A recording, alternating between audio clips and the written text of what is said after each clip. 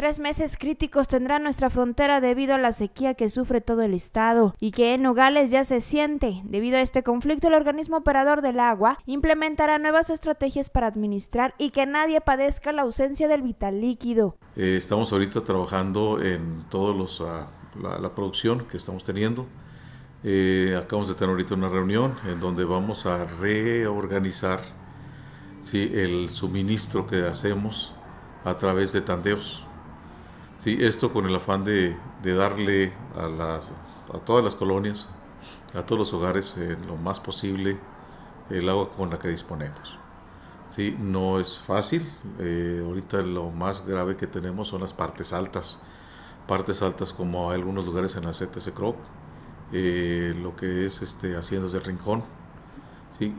algunas, algunas partes también de, de Santa Lucía, de San Miguel, Sí, y ahorita estamos buscando ya eh, la manera de estar cerrando eh, válvulas para estar suministrando o haciéndole llegar el agua. Actualmente el OMAPA se ha concentrado en reparar en medida de lo posible las fallas que se han detectado para mejorar la eficiencia en el abastecimiento y a lo largo de este fin de semana se concentrarán los especialistas en la reorganización de los tandeos en la ciudad. Ahorita el grupo técnico está trabajando ya en la, en la agenda.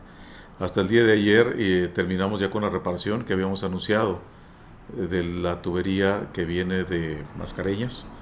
Eh, teníamos unas fugas grandes ahí que estuvimos esperando un tiempo y consideramos que el día primero fue el miércoles, fue cuando cerramos el, cerramos el abasto para poder hacer estas reparaciones. El día de ayer quedaron, quedaron ya concluidos. Quedaron desde el mismo, desde el mismo, ese mismo día, pero debido a que tenemos que ir soltando el agua poco a poco para no causar daños en la tubería. Este, el día de ayer ya quedaron terminados. La sequía es un problema muy difícil característico de nuestro estado, por lo que para evitar mayores contratiempos, la dependencia municipal se organiza para hacer frente y que no se den complicaciones, por lo que piden a la comunidad su apoyo, cuidando el agua y sobre todo buscando el abastecimiento. Pues esto no es exclusivo únicamente de Nogales, esto es una sequía que se viene dando ya desde hace mucho tiempo y está abarca toda la parte norte del país.